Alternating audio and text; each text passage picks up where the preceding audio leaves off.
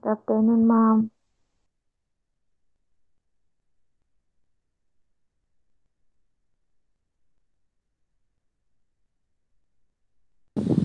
Good afternoon. Wait lang tayo ha.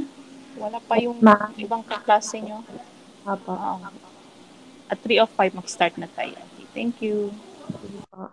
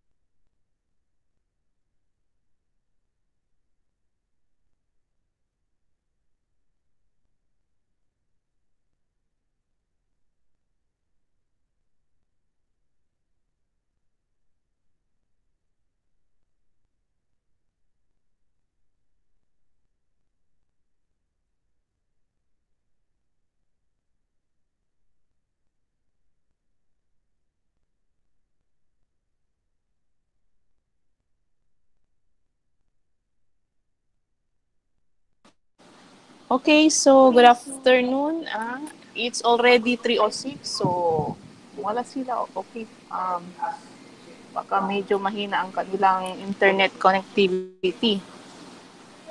Kasi medyo mahaba yung ating presentations class today.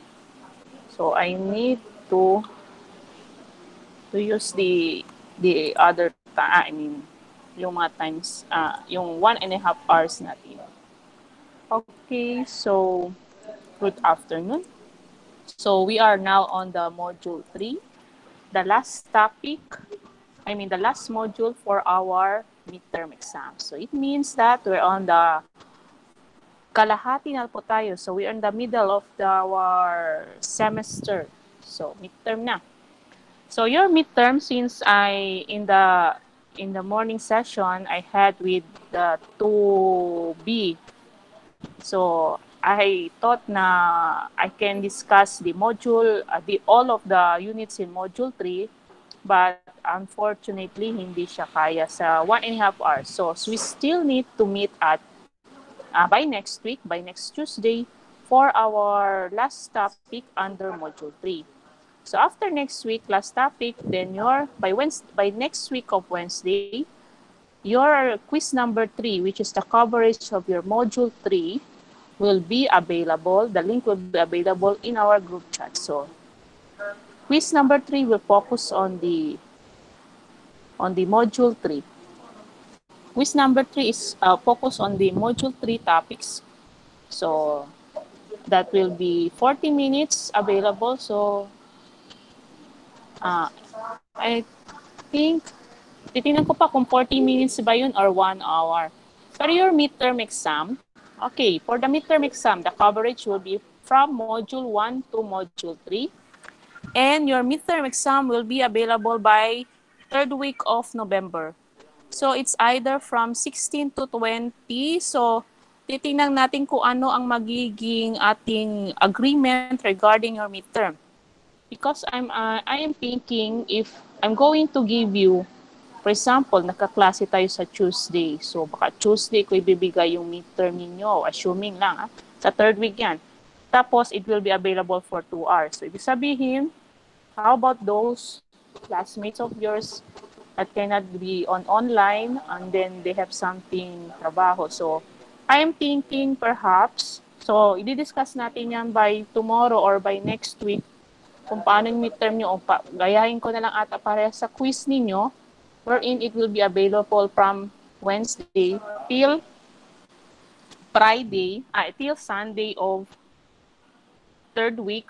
Tapos, ang midterm nyo will be, since it covers three, hour, ah, three modules, so it will be uh, one and a half minute, ah, minutes, one and a half hours, 50 items, multiple choice. So, sabihin, if there will be a problem solving, you can do your solving in your scratch paper, but there's a need, there's no need for you to prove it that you solved. You just select which among the choices is the answer. So, ganun lang. So, there, um, 50, uh, 50 items multiple choice, one, uh, one point each item. So, there will be 50 points for your midterm. And then, the passing will be 25 points for the midterm. So, 25, kalahati ng 50. So, passing is 25, coverage. Ano yung coverage? Module 1 to 3. The, uh, the lectures in Module 1 to 3. So, meron, so that will be your, I mean, your midterm. I think, Pel. For the quizzes, so ang quiz ninyo, next week yung quiz. So, ang quizzes ninyo will be available by next week on Wednesday after lang yung klase ko with you on the next Tuesday.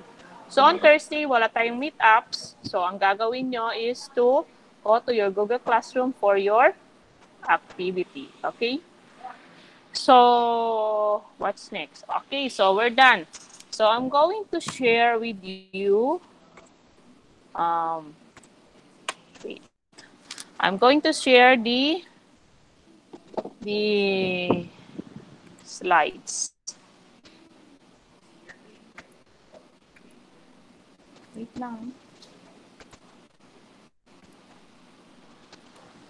Okay, so we will only discuss for the unit 1 of module 3. Kasi hindi kaya i-discuss yung tatlong units kahit na yung unit 1, 2, uh, unit 2 and 3 eh, medyo kokonti lang.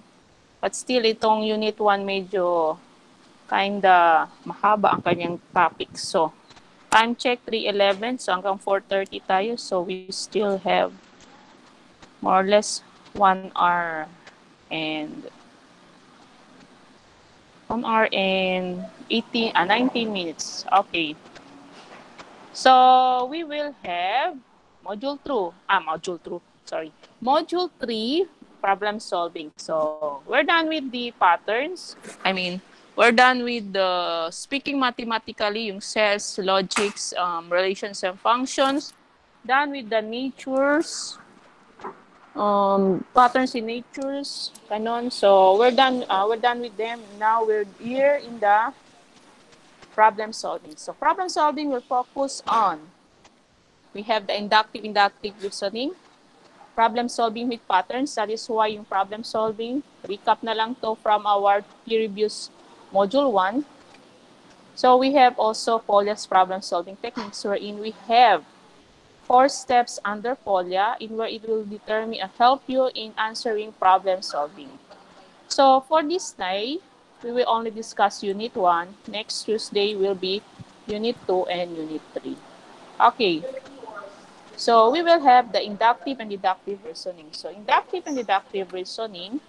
So in our previous, uh, in your Google Classroom, I already uh, gave you, uh, advise you to watch the link. It's about introduction to inductive and deductive reasoning. Okay, so what is the importance of reasoning? It will help you to recognize what information is provided or missing. It helps you figure out what information you need to find.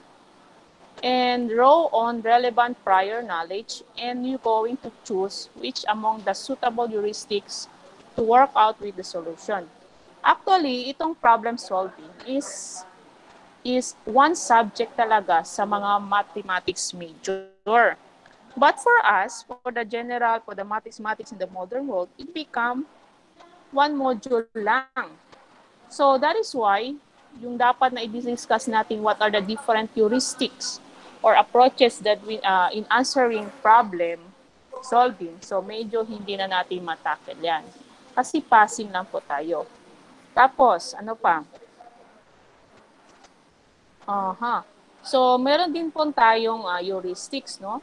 So, since uh, passing lang tayo, mostly naman ang ginagamit yung heuristics sa pag-explain o sa pagbigay ng example sa inyo is yung patterns and yung trial and error. Yun yung guess-guess lang natin hanggang sa makuha natin what is will be the applicable um, value na masasagot dyan. So that is for uh, reasoning. So that, they have three important reasoning. Okay? So, pasensya lang kung medyo uh, kumakain po ako ng merienda kasi kanina pa ako na sasalita from different uh, whole day kasi yung klase ng BSF SM dire-diretso. So, pabalik-balik lang yung, yung topic. So, okay lang yan. Okay. So, just don't mind me ah, kapag medyo may um, okay, so we have here, uh, yan na, importance of listening.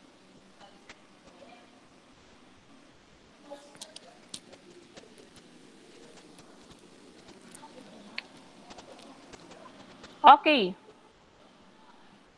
So we have inductive reasoning is a type of reasoning that forms a conclusion based on the examination of a specific examples. So examples are can be through observation. Ang conclusion that formed by using inductive reasoning is what we call conjecture. Conjecture ang tawag dun sa conclusion na na-form natin using an inductive reasoning. This conjecture may or may not be correct. So, ibig sabihin, um, ibig sabihin nito, yung mga conjecture na ginawa natin, pwede siyang tama or pwede siyang mali. Hindi uh, applicable to all. So anong ibig sabihin nito? For example, 'di ba, may mga uh, may mga may mga kapitbahay naman talaga tayo lahat. So and then some of our kapitbahay are mga yung makitit ang utak, yung mga san machismosa ba tawag doon. So, actually, yung ginagawa nila ng mga chismosa, so assuming lang ha, this is assuming lang ha, so nag-observe observe sila sa mga certain individual in their community, mga ganyan. Observing day 1, observing day 2, hanggang sa ma-create sila ng conclusion, ay yung pala si blah blah blah blah blah blah. 'Di ba? Paminsan yung chismis niya is true, paminsan naman ang chismis naman ay false. Kasi nga, they using a specific examples or observation and then he create a conclusion. That's why sinabi dito, it may or may not be correct. So later on, malalaman niyo kung bakit siya tama, mali. Because we will, uh, we will determine that, that later on if we, uh, in discussing this inductive. Okay, next. So inductive is the process of reaching general conclusion by examining specific examples, uses set of specific observations. So, so opposite of deductive reasoning. Oh, okay, so it is uh, commonly used in an inverted funnel or a pyramid. So we all know that the pyramid looks like this. Wait lang. Kasi hindi ko masulat. Okay, so this is a pyramid or inverted funnel. Kasi ang panel, di ba, pag ganyan, hindi, ganyan, no? So, may, may, meron siya straight, long. So, this is a panel. So, invert mo yan, magiging ganito like a pyramid. So, bakit ito ang inductive? Ang inductive start with the specific observations. So, observation hanggang sa ma-generate na yung general conclusion. So, yan po ang inductive. So, they are based on finding a conclusion that is most likely. So most likely makifit sa premises. And it used to make predictions, creating generalizations, and analyzing cause and effect. So yun po ang inductive. So nandito na po. Starting from specific observation, going to the broad conclusion. So for example, we have here, so ito yung observation 1. Ito naman ang observation 2. Ito yung kanyang conclusion. So, my neighbor cat, my neighbor's cat hisses at me daily. Observation 2 niya, at the pet store, all the cats hiss at me. So, nag-conclude kagad siya, therefore, all cats probably hate me. So, it doesn't mean dahil kapag nag-hiss sa'yo ang, kapit, ang pusa ng kapitbahay ninyo, or ang pagpunta nyo sa store, yung mga pusa din nag-hiss din sa inyo. Tapos mag-conclude kagad. Perhaps, meron uh, the same, uh, baka natsambahan lang, di ba?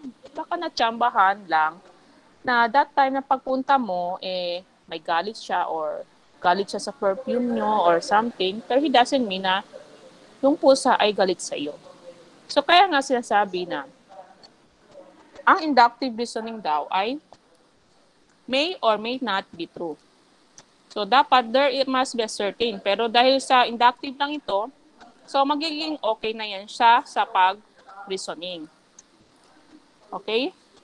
Okay, next. What are the uses of inductive reasoning? Ayan. There are three uses of inductive reasoning. Predicting a number.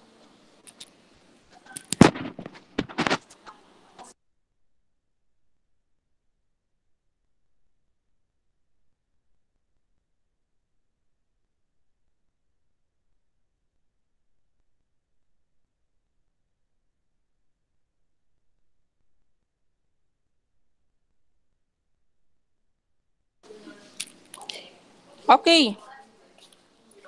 So, these are the three um, uses of inductive reasoning. Okay, to predict a number, make a conjecture, and solve an application. So, for example, we have, so this is the procedure, ah. Yan. Yan yung procedure natin. Teka, nahihirapan ako magsulat. Remove ko muna acting mga things. Okay. So, this is the number.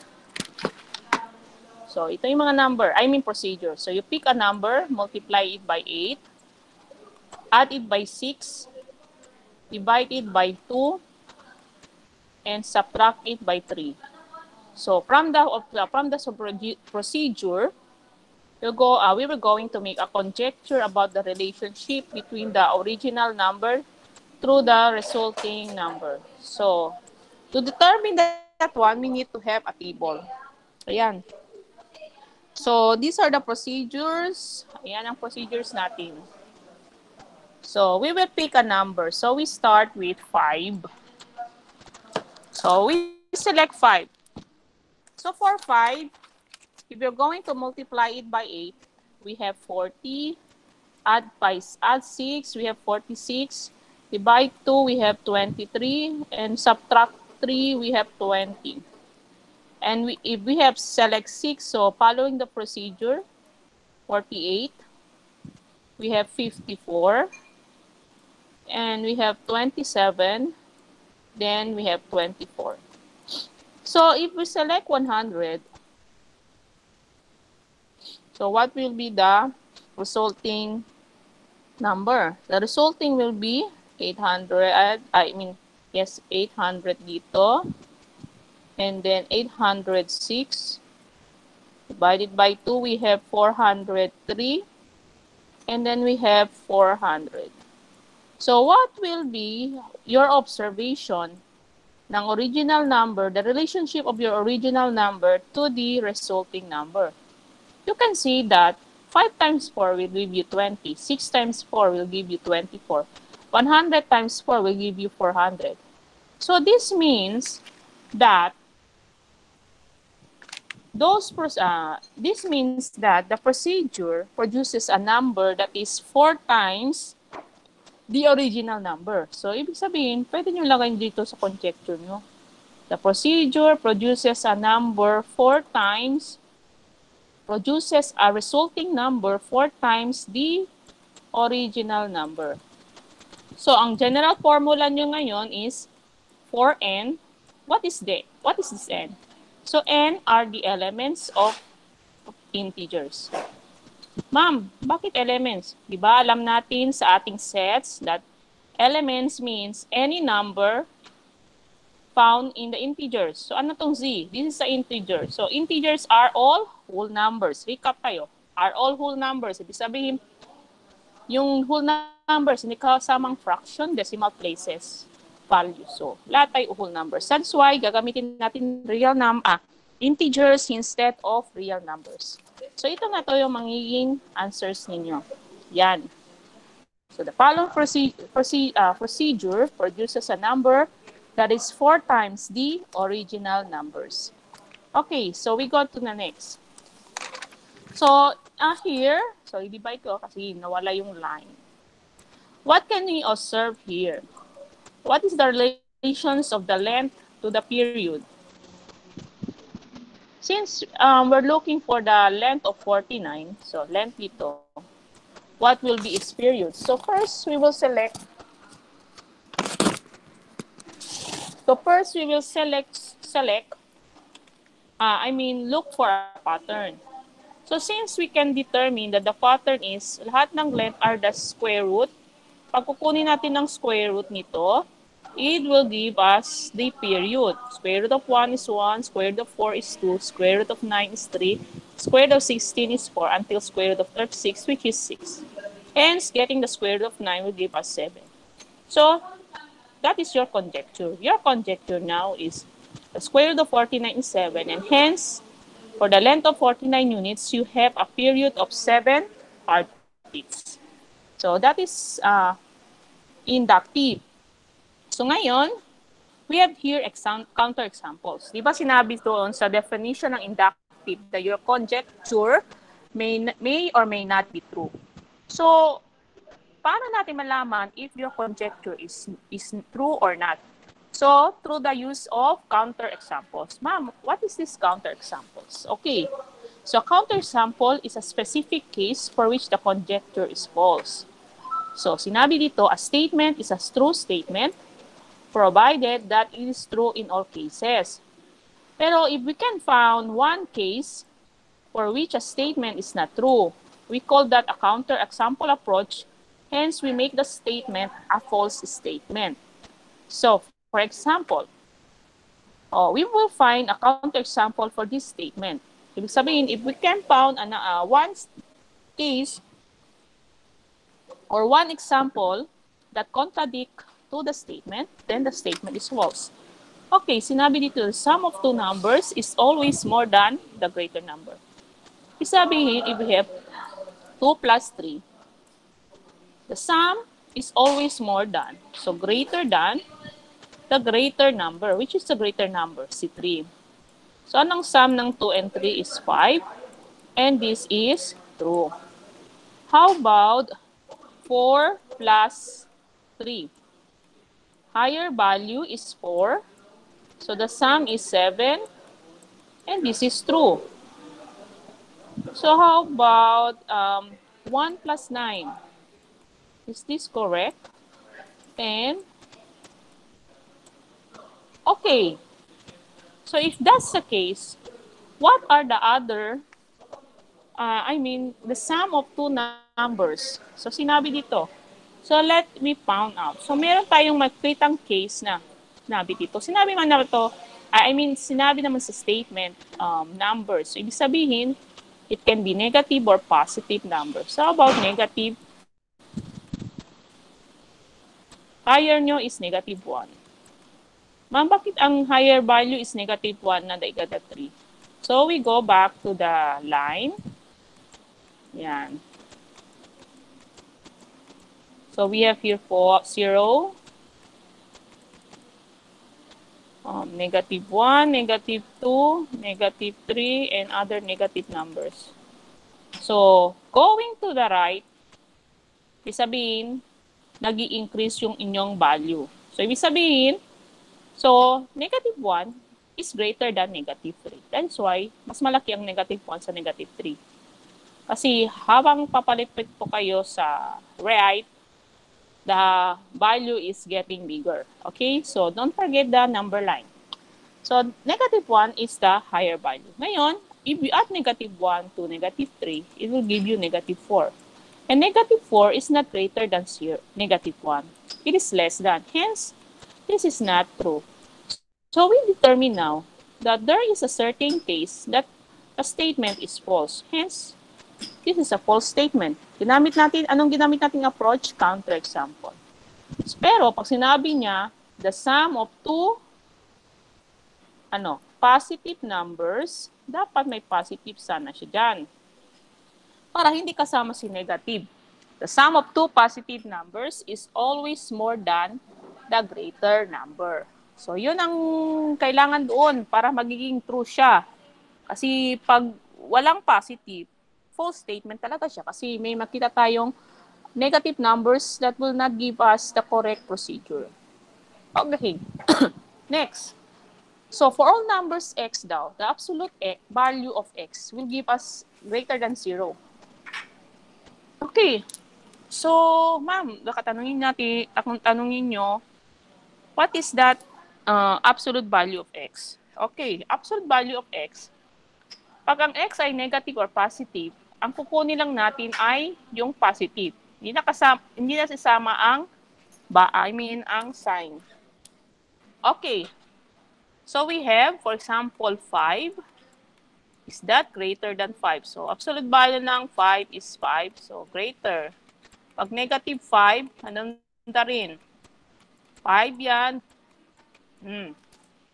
How about um, 2? Greater din yan. How about negative 2?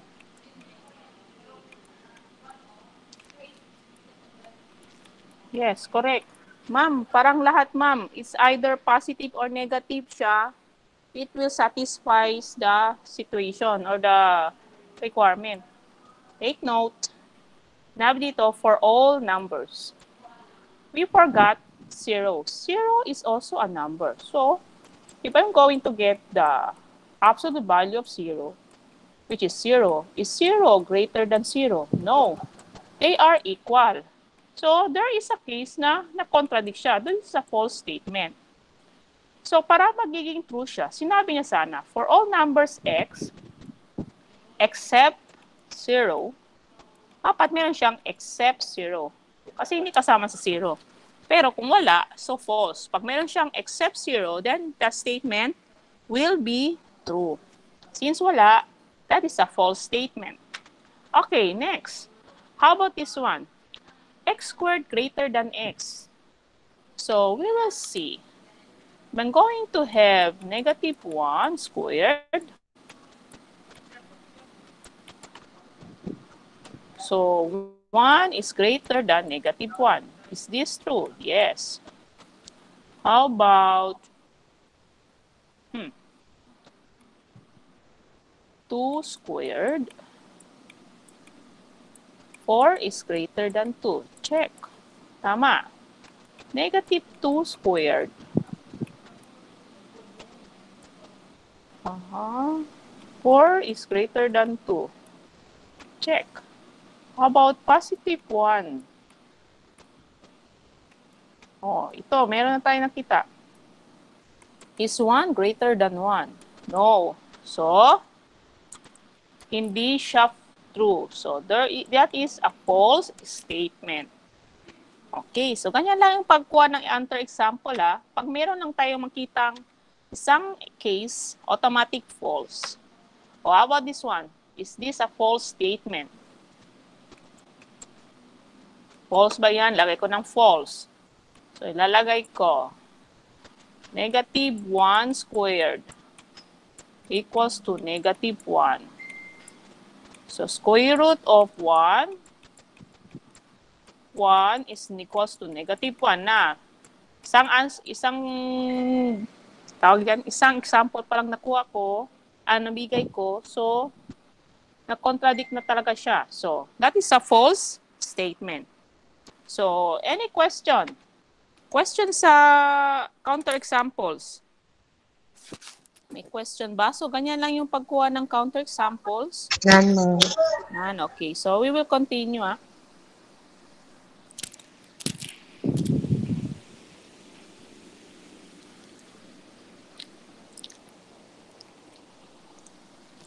So, ganun lang yung pagkuha ng counterexamples. So, that is that is all for the inductive. So, now we will be in the deductive.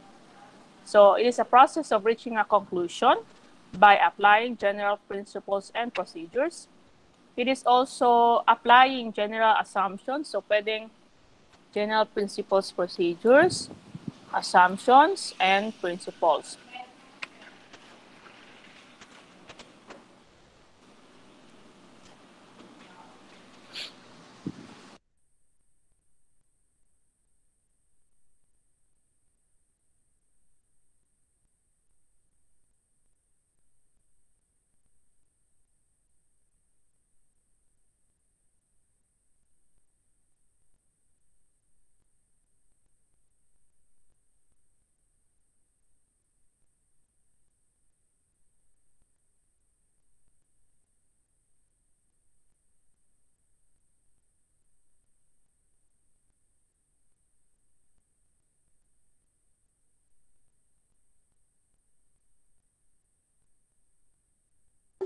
Eh, sorry ah.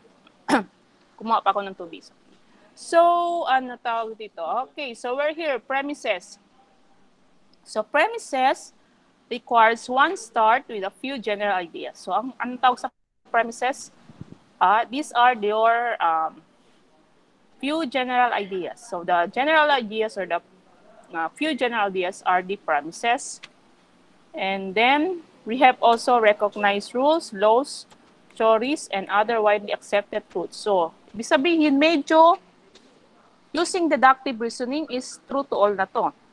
True to all and true to specific kasi hindi, hindi niya ginagamit yung specific examples but gumagamit siya ng general principles and procedures to create a conclusion. So, yung deductive, medyo true na siya. Kasi, gagamit kayo ng mga accepted principles theories, rules, laws. Kaya na, um, accepted truths. Ayan. So, syllogism ang uh, the most basic form of deductive reasoning. So, go on to the next. Okay, yan. Kaya nga, sinabi, inductive is the opposite of the deductive. Di ba ang deductive, like a pyramid? Yan. So, from uh, ito yung deductive ah, from the specific conclusion ay observation you create a general formula. Ang general ideas naman from I mean general ideas ang ang deductive naman from the general ideas creating from a specific conclusion. So we have an example here. An example so ito ay general ideas general ideas, then conclusion. All muscles are made up of living tissue. We all know that. That is a general idea. Lahat ng tao ay alam na all muscles are made up of living tissue. Nandun na rin yan sa ating science book. All humans have muscles. Nandun din yan sa science book. It is accepted truth na all humans have muscles. Therefore, all humans are made up of living tissue. Ma'am, baka tanungin natin. Baka tanungin niyo sa akin. Ma'am, sabi doon specific conclusion. Why is it we use all? May all. That is a general, di ba? So, ganito. We all know that muscles are made of living tissue. And all animals have, living, uh, have muscles. So ngayon, gumamit po tayo ng specific na animal. It can be, uh, di ba pwede naman uh, dogs, the cats, the, uh, ano pa ba, uh, mga different animals, elephants, ganyan. So yung naging specific siya, naging focus niya lang is yung all humans. True to all humans, so general siya, pero specific siya to all animals. Hindi niya na in-include ang lahat ng animals, only human beings. So that's why, kahit na all ang ginamit ko dito, still humans lang man, lahat naman ng animals may muscles. So still, specific conclusion po ang ating na-generate. Okay, so yun po ang deductive. So the uses of deductive is to establish a conjecture only. So yun lang ang kanyang uses. Okay, so we will have a comparison between an inductive and deductive reasoning. Okay, what is the comparison? So, since we start discussing the inductive, so doon muna tayo sa inductive. So, what is this inductive? So, inductive is you going to look for a pattern. Di ba? Ginawa natin la pattern. Using observation, observation 2, observation 3, tapos nakita natin na may pattern pala. So, yun, na-create tayo ng conjecture. Since a conjecture may or may not be true, that's why we need to verify or modify using a counterexample. Ang counterexample ang gagamitin natin to verify or modify if the conjecture we made is true to all. Yan yun. While deductive, since deductive naman ay galing sa facts, definition, and accepted properties, hence, magkakreate yan siya ng specific uh, conclusion o logical argument na hindi na natin kailangan pang i-verify or modify. Kasi si inductive lang po yun, magbe-verify or modify. Okay, so that is the difference between inductive and deductive. Okay, next.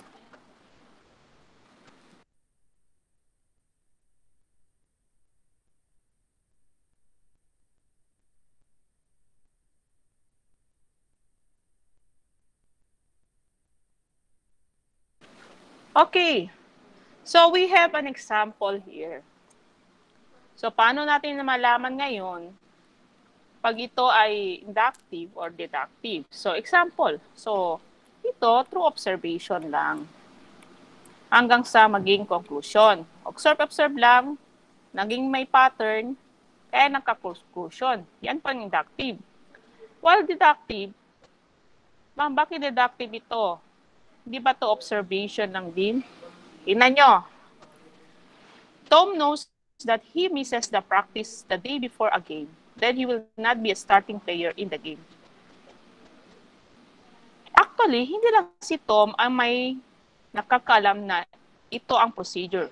We all know that in a basketball player, uh, I mean basketball player, in a basketball game, or kahit anong games na lang, pag hindi ka talagang sumali sa practice nila before the game, hindi ka talaga papasukin ng coach nyo to be a starting player in that specific game. So this is a general idea or a facts. We all know that kahit sinong players, alam din niya, ganyan ang procedure ng isang coach.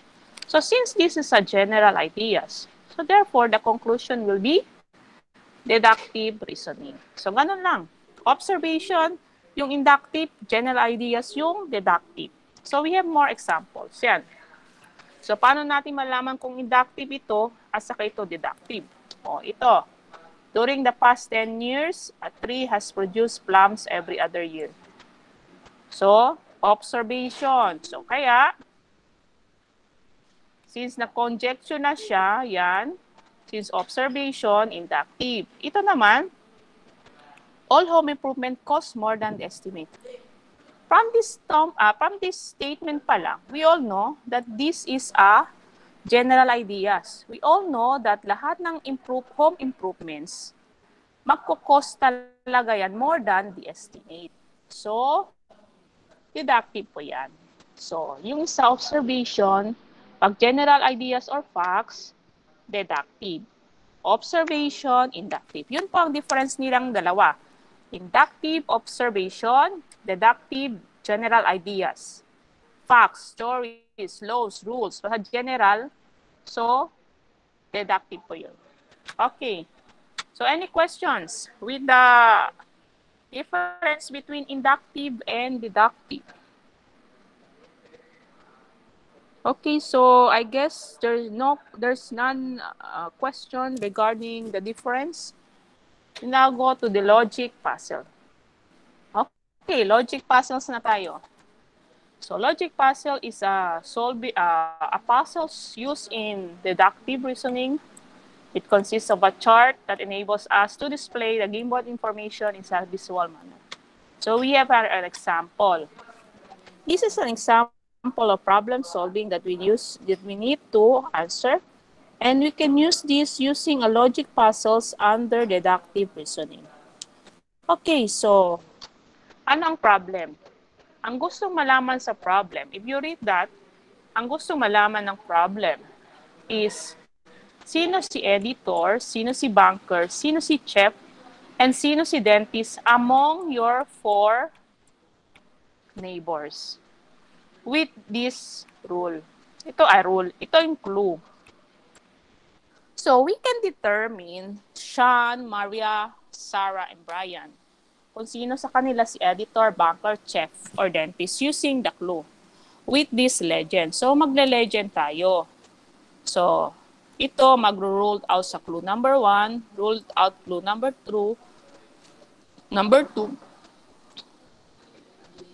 sorry, ruled out clue number 3, ruled out clue number 4, and this check indicating specific occupation of a certain neighbor.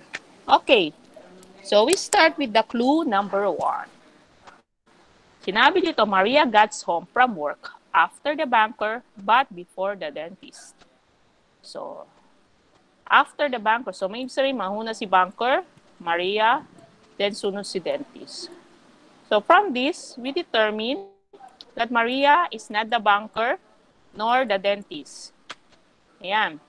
So, create tayo ng table. So, since this is a clue 1, so we use X1, ruled out by clue 1. So, Maria is not the banker nor the dentist. Okay, yan pa lang. Hindi pa tayo maka-answer kung sino ba talaga ang editor, banker, chef, and dentist. We still have another clue. Yan. Sarah, who is the last to get home from work, is not the editor. So, Sarah is not the editor. So, Sarah is not the editor. So, this is a clue, number 2. So, we use X2. Is that all meron sa clue number 2? Sinabi, Sarah is the last to get home from work.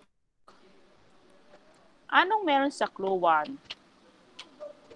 Clue 1, dentist, Maria, and banker. Okay. Dentist, Maria, and banker. Sinabi, mauna umuwi si banker, then si Maria, then si dentist. Since Sarah is the last to get home from work, so it may be Sarah is the dentist. But we cannot assume first that Sarah is the dentist. Ang pwede lang natin ma-assume, Sarah is not the banker. Baka tanongin nyo, bakit ma'am hindi si Sarah banker? Eh, mauna naman uuwi si banker kaysa sa Maria. Since si Sarah is the last, so hindi siya pwede si banker kasi siya ang mauna umuwi, di ba? Hence, Sarah is not the banker. So we have X2. Okay, next. So na, lumabas na si X3. Wait lang ha. Dapat wala si X3 dyan. Okay. The dentist and Sarah leave for work at the same time. So sa clue number one natin, dentist, Maria, banker. So sinabi, dentist and Sarah, so si dentist and Sarah leave for work at the same time. So ibig sabihin, si Sarah ay hindi ang dentist. So nandito, hindi siya dentist. Hence, we have here, so si Sarah ang chef. Since si Sarah ang chef, hindi na pwede si Maria ang chef. Si Sean, hindi si chef. And si Brian, hindi si chef. Since kompleto na naman dito, hence si Maria ang editor. Since editor na siya, si Sean hindi ang editor, nor si Brian. So, dalawa na lang kulang. And still, we still have one more clue. Ayan. The banker lives next door to Brian. Ibig sabihin, si Brian is not the banker. So, Brian is not the banker. So, clue 4, siya to dito. Yan. So, we determine Sean is the banker. Maria is the editor. Chef, si Sarah naman. And si Brian yung dentist. So, that is how you're going to do with the logic puzzle. So, easy lang siya, no? So, ang importante lang dyan is you're going to create a table. After creating the table, you use for the clues. You need to determine what are these clues because these clues will give you what will be your answer. Uh, will help you what will to answer the certain problem. Okay. So next. So, can-can puzzles na tayo. Okay. So, sino yung mga gumag uh, naglalaro ng Sudoku puzzles? So, congratulations because Sudoku puzzles, I mean, can-can puzzles are the same with Sudoku puzzles. Ang magkaiba lang nito is that meron siyang ginagamit na arithmetic base. What are these arithmetic base? We have the plus, the minus, the times, and the divide. Okay, so this one,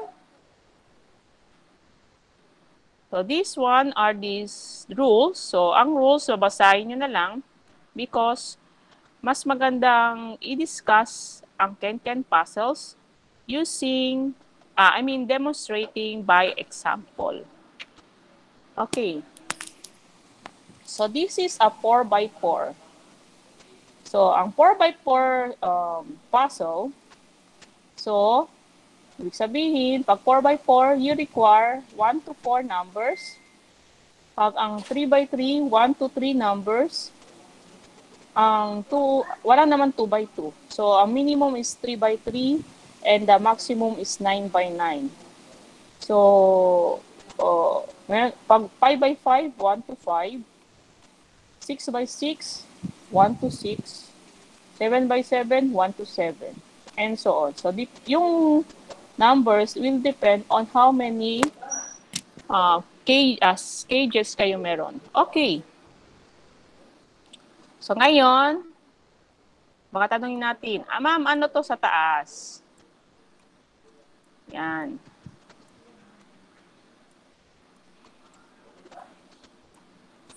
Okay. At ano tong mga lines? Yan. So that this line is the border. Ibig sabihin, hanggang dito lang po yung 6 times. So ibig sabihin, meron kayong 3 numbers na kailangan. If you multiply them, kasi multiply o times, if you multiply them, will give you 6. Ganun po yan. Ito naman, kailangan mo ng apat, I mean, dalawang number, If you multiply them, give you 4. Ito naman, kailangan mo ng dalawang number. If you add them, give you 7. Ito naman, kailangan mo ng tatlong number. If you multiply them, give you 8. Ito naman, kailangan mo ng dalawang number. If you multiply them, give you 12. Ito naman, kailangan mo ng dalawang number. If you subtract them, give you 1. At itong dalawa, since walang addition, subtraction, multiplication, division, kung ano yung value niya, yun din ang lalagay. For example, this is 2, 2 din. This is 1, 1 din. Okay, so I'm going to check, to select other color. Okay. So, saan tayo mag-uuna. So actually, there's no proper way on, I mean, uh, uh, technique kung saan talaga mag-uuna. I mean, uh, rules kung saan mauna. So, bale, ang gagamitin natin is technique na lang. Okay, for example, here, 7 plus. Is this, uh, pwede ba tayo mauna dito? Yes. Kasi from 1 to 4, kasi 4, 4 by 4 eh. So, ano ng mga gamitin nating value? 1, 2, 3, 4. So, from 1 to 4, anong dalawang number na kukunin natin dito if we add them? Give us 7. So, it can be only lang, pwede, is 4 plus 3. Wala nang iba kasi yung 3 plus 2 is 5. 4 plus 2 is 6. So, only 4 plus 3. Ngayon, hindi natin alam kung dito ba si 4 or dito kaya si 4 or dito kaya si 3 or baka dito naman si 3. So, ilalagay muna natin. Kasi, um, ano yung tawag dyan? Hint natin yan. Okay. Take note, ha? So, gagamit muna lang ako ng highlighter. So, take note. Meron na tayong 2 dito. So, ibig sabihin, dapat wala ng 2. Kasi ito ang Sudoku, ah, Sudoku technique. Wala na to dito na gagamitin, nor dito. Walang 2 kasi nandito na si 2. And so with 1. Wala nang 1 dito, and so with here. So, dapat wala nang 1 dyan. So, ganun po yung process. Okay, so erase ko muna yung highlighter. Okay. Go back with my pen. Okay. So, since I have 3, 4 here, so highlighter muna ako ulit. So, meron akong 3, 4 dito. Yan. Hindi pa natin magamit ditong 3, 4 kasi hindi tayo sure kung 3 ba yan dito or 4. Pero dito, sure na tayo, may 3 and 4. Kasi kung 3 dito, 4 din dito. Sabi sabihin, ano na lang kulang? So, kung may 3 na tayo and 4, ang kulang nyo is 1 and 2.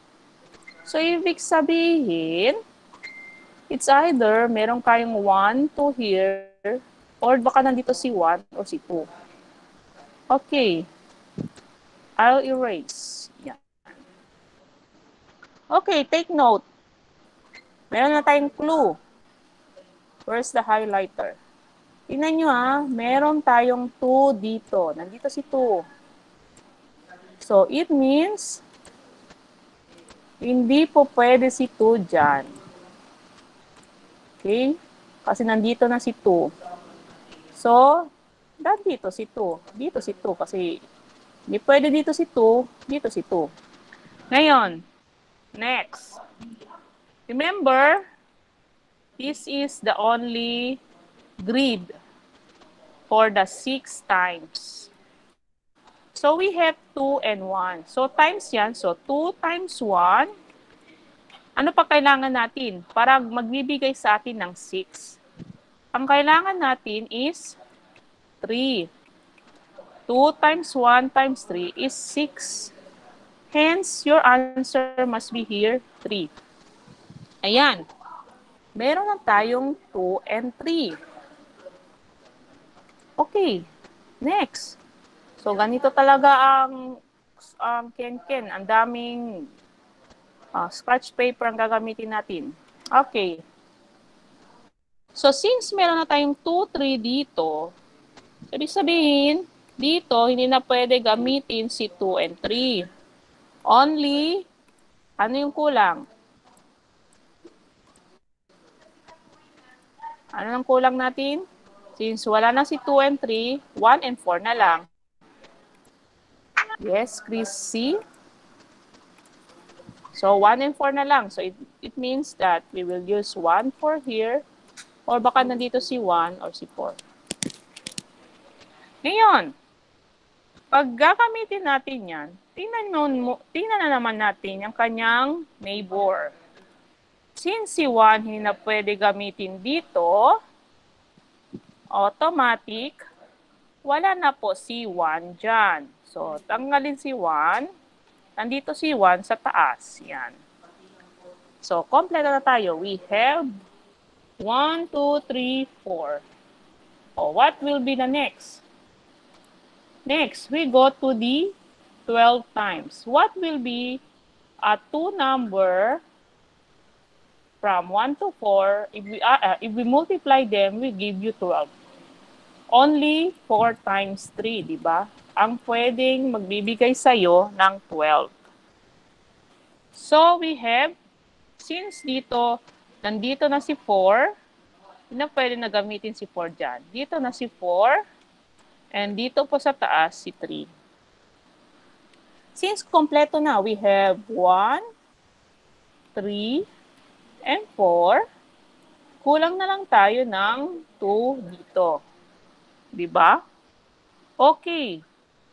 Anong kailangan natin? So remember, oh, highlighter. Wait lang. Okay, anong kailangan natin sa 2 para oh kasi isang ba ito lang yung yung sa 1. What will you subtract sa 2 na magbibigay sa iyo ng 1? Subtraction kasi eh. So, ano yung possible value? It can be 3 minus 2 will give you 1 or 2 minus 1 will give you 1. Okay, saan dito ang gagamitin mo? 3 ba or ang 1? Okay, 3 ba or 1? Use the, I'm going to use the highlighter. O yan, itingnan natin. Okay. From that, nakita natin, hindi natin pwede gamitin si 1 uli. Sorry. Dito. Because meron na tayong 1 here. So automatic, this one cannot be used. We can use the 3. Okay, so erase ko muna. So we use 3. So since meron tayong 1, 3, and 4, ang kulang is 2. Yan. Okay, ngayon ito na lang ang kulang natin. And we don't know, ah, pwede na, makita na natin. Okay, highlighter again. Since meron ng 3 dito, we cannot already use 3 there. Erase si 3. Erase si 3, si 4 na. Pag 4 na dito, erase si 4. Ngayon, pwede na natin ilagay yung kulang. So we have 1, 2, 3, 4. We have 2, 3, 4, 1. Tingnan nyo kung lahat ba ay ginamit lang once a number in the uh, uh, vertical and horizontal line. So, di ba, isa-isa na lang siya. So, that is how you're going to get in the puzzle. I mean, Ken-Ken puzzle. So, any questions sa Ken-Ken? Wala, ma'am. An, ma'am. Ma'am? Oh, okay ba ang Ken-Ken o medyo challenging siya or medyo ang dami niyang procedure? Okay lang, ma'am. Okay lang. Okay naman, ma'am. Actually, ah, okay. So actually, pag nasanay na kayong laruin yan, hana, hanapin nyo talaga yung Ken-Ken kasi nakaka-addict yung laro na to. Okay, so we have more examples. So ito ha, babasahin nyo na lang yung definition. So I'm going to go with the example. Okay, we have the 3 by 3. So 3 by 3, kailangan lang natin is 1, 2, and 3 numbers. So yes, Chrissy. Okay, erase ko muna ha. Okay, so we will start. We will start with the value ng walang operation. So we have 2 and we have 2. Okay. Saan tayo? Sa 5 plus. What will be the value na dalawa para magiging 5? So, kailangan natin si 3 plus 2. So, we have 3, 2, 3, 2. Since meron tayong 2, automatic din na kailangan natin si 2 dyan. So, nandiyan na si 3, tanggalin si 2. So, ngayon, 1 na lang. So, since meron ng 1, automatic 1, 2, 3. Ito, meron tayong 2, 3, 1. Ito, meron tayong 1, 2, 3. Ito, meron tayong 2, 3, 1. So, mas easy po ang 3 by 2. Kasi, um, tawag dyan, uh, pag makita na yung dalawa, eh, automatic ma, hindi na kailangan mag-solve. Unlike sa 4 by 4, Another example sa 4x4.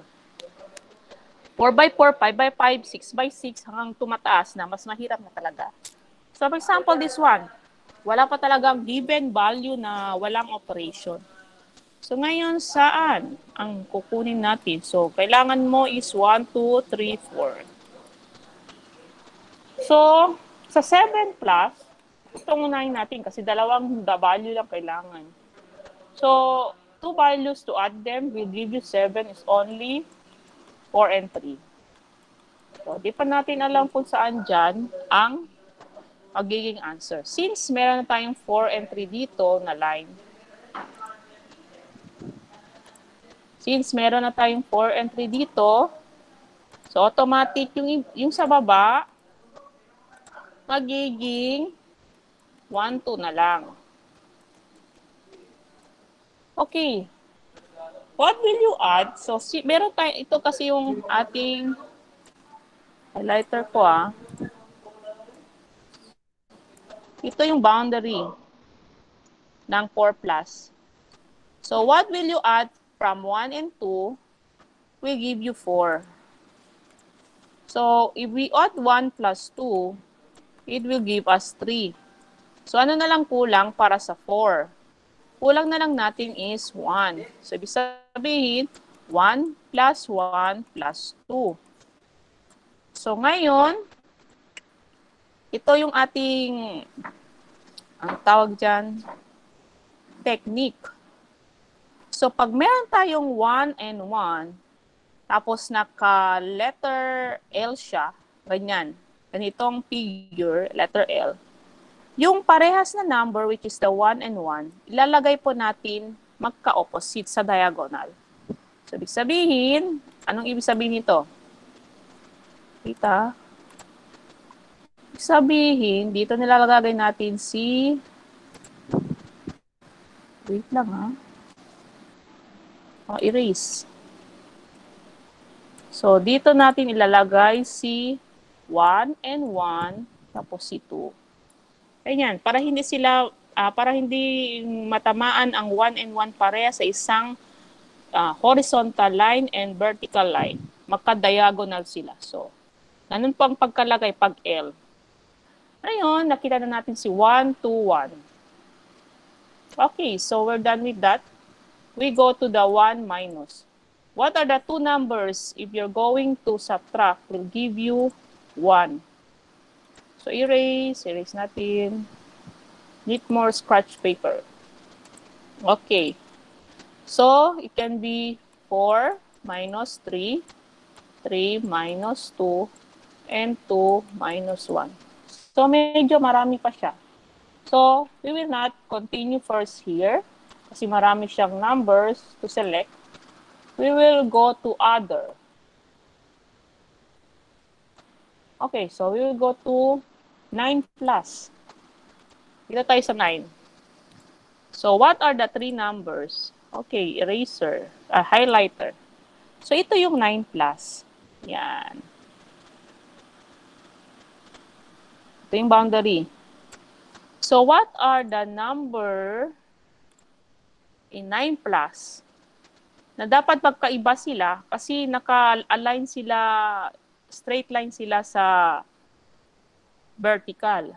So, what will be their 9 plus? Uh, anong value i-select mo from 1, 2, 3, 4? I give you 9. So, if you select 4 plus 3, 7 plus 2, 9. Di ba? 9 na. So, it can be 4, 3, 2 here. 4, 3, 2. Kasi ito mga value natin. So, later natin erase kung saan hindi pwede gamitin. Okay, highlighter. Highlighter. We cannot use 2 here because nandito si 2. Yan. So, erase the 2. Erase muna natin to. So, erase 2. Ano pa? Wait. Meron pa ba? Wala pa. So, dyan lang muna yan. Next. Saan tayo? Sa 6 times, 6 plus, or sa 8 times? How about sa 8? 8 na lang. Ito yung boundary ng 8. Highlighter, boundary the 8. Boundary ng 8. Yan. So we need three numbers. If you multiply them, give you 8. Can we have 4 times 2 times 1? Yes, pwede ito. How about 3 times 2 times 2? 6, 12. Hindi pwede. How about 3 times 2 times 1? Give you only 6. Hindi pwede. So, there is only one possible answers ay possible factors of 8. 4, 2, and 1. Okay. So, ilalagay natin si 4, 2, and 1. 4, 2, 1. 4, 2, 1. 4, 2, 1. Okay. Highlighter. Erase muna natin. Yan. Ay. Erase ang 2. Highlighter. Yan. We cannot select 2 and 1 here. Nandito si 2. Andito si 1. Okay. Erase. So, wala si 2, wala si 1. So, 4 na siya. Siya lang talaga. Since nandito din si 4, erase natin si 4 here.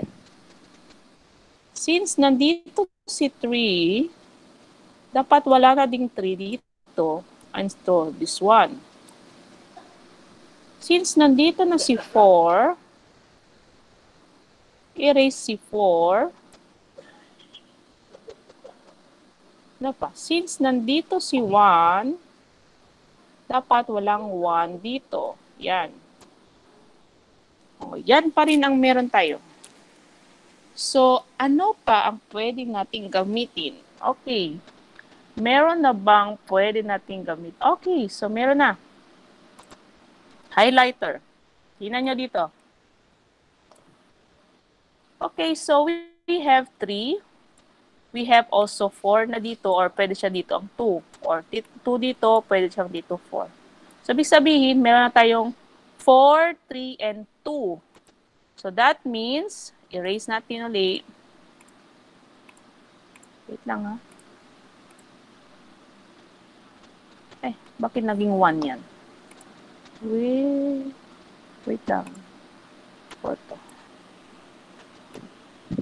So, we have 2, 3, and 4. So, automatic 1 to dito. Okay, so we have there. Ngayon, ano pa ang next? So, try to see. So, we will go to the 6 plus na. So, may ito, ito medyo mahirap yung 4 by 4. So, we go to the 6 plus. So, what will you add sa 1? That will give you 6. So, 1 plus 1 plus 4. That, is that will give me 6? Yes. Ano pa? 1 plus 2 plus 3. Will that give me 6? Yes.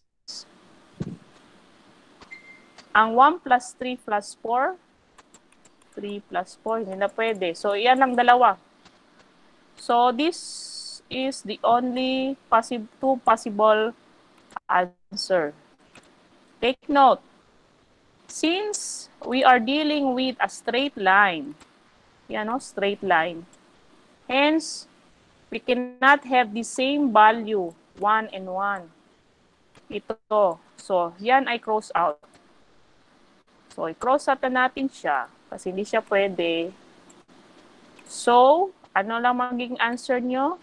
1, 2, and 3. So, it can be 2 here or 3 dito, 2 here or 3 dito. So, since meron na tayong 3 here, 3 dito sa 6 nyo, automatic wala na pong si 3 dyan. Kasi gagamitin si 3 dito.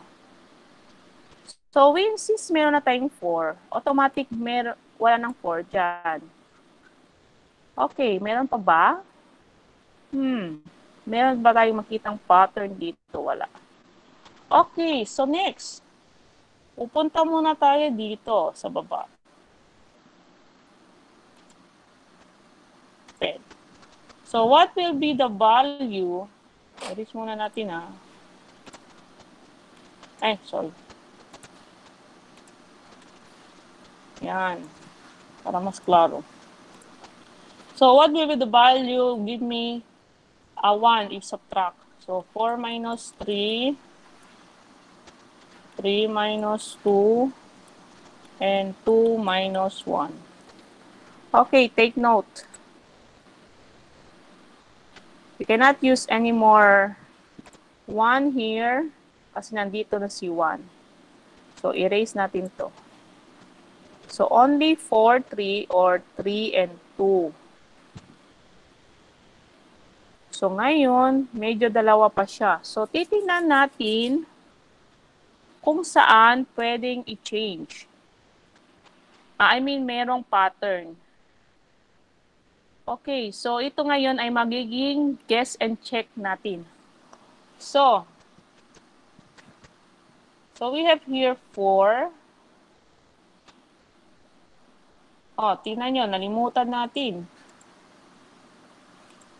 Since meron ng tayong 4, automatic, ang kailangan na lang natin is 2 and 1 dito.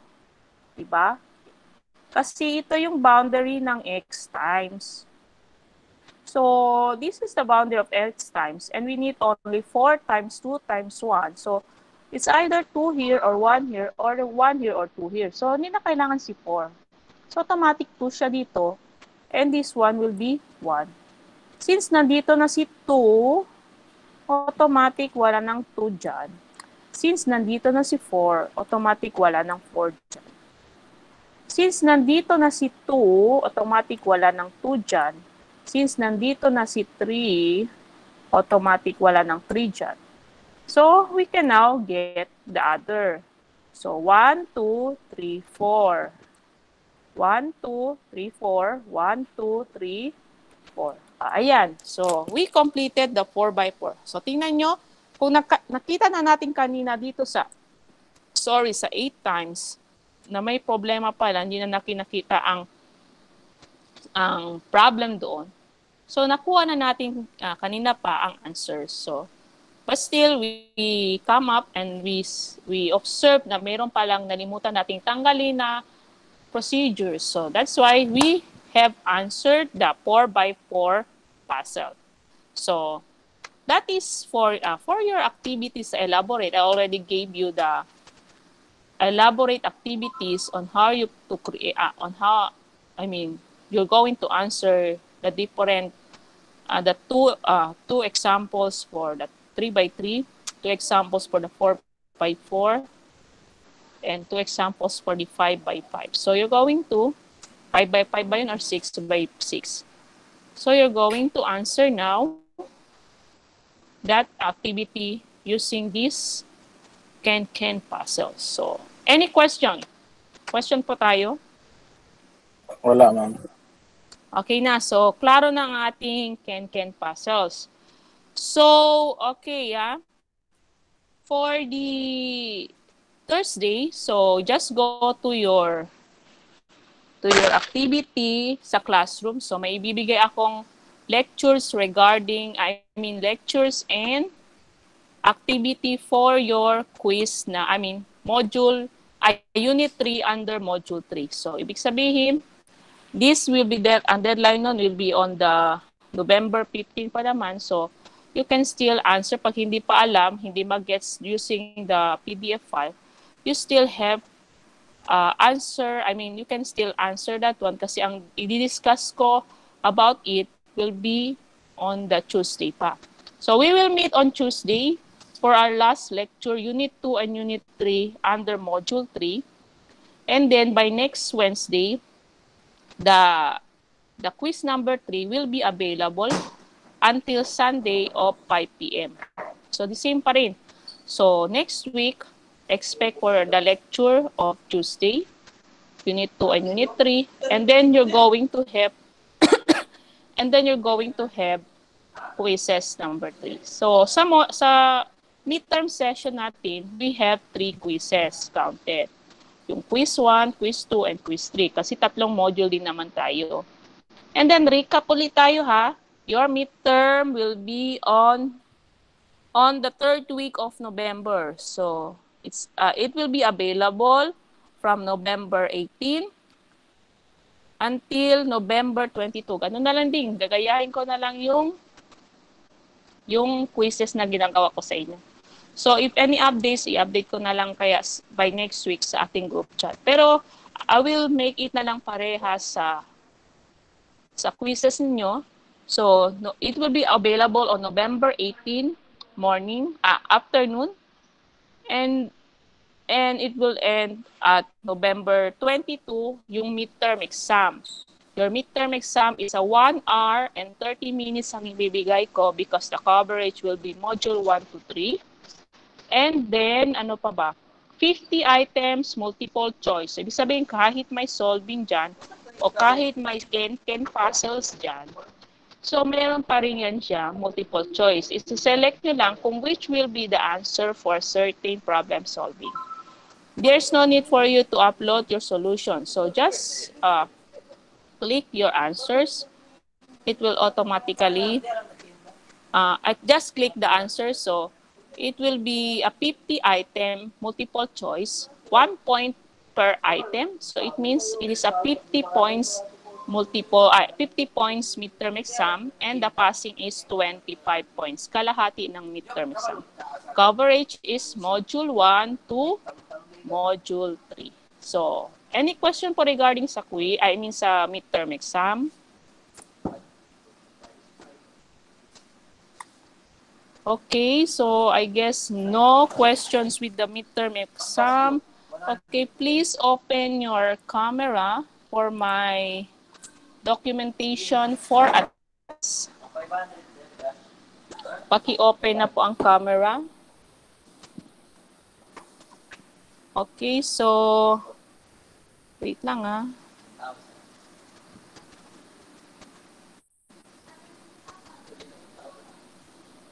Okay, open your camera. So, o sana yun? Ate ka na, hanga ang aking computer. Nangyari dito? Hindi lumalabas. Wait lang ah.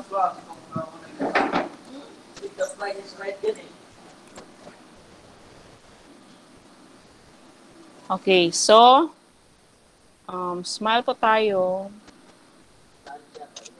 One, two, three. Okay, so thank you for your time. If you don't have any more question, thank you for your time. You may, uh, thank you, stay safe, and God bless. So, go lang po sa Google Classroom natin sa Thursday. So, I will, uh, I will try to answer all of your personal queries regarding sa activities and all by tomorrow. Ha. Pasensya pag hindi ko na-answer by last week kasi may research kami, may meeting, etc. for the evaluation. Kanina nga din, mayroon akong meeting kasi at the same time nakaklase ako. I don't know how to do it na kasi naka-conflict na lahat.